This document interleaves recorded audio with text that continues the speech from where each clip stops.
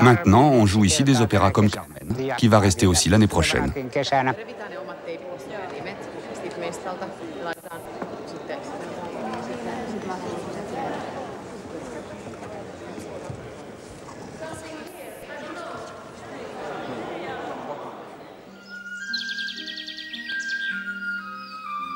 Les répétitions réunissent des artistes de tout pays.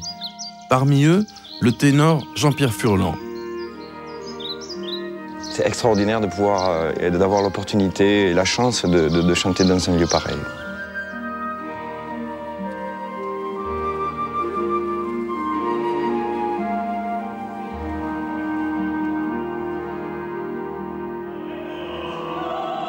Ici, il n'y a pas que Carmen, il donne euh, quatre ou cinq productions en même temps.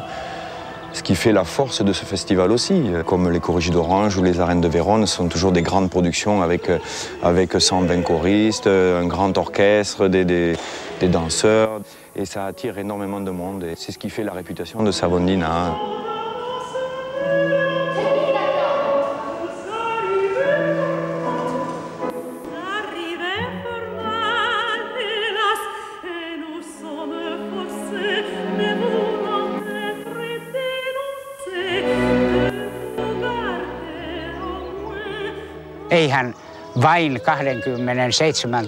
Si un tel festival peut exister dans cette petite ville de 27 000 habitants,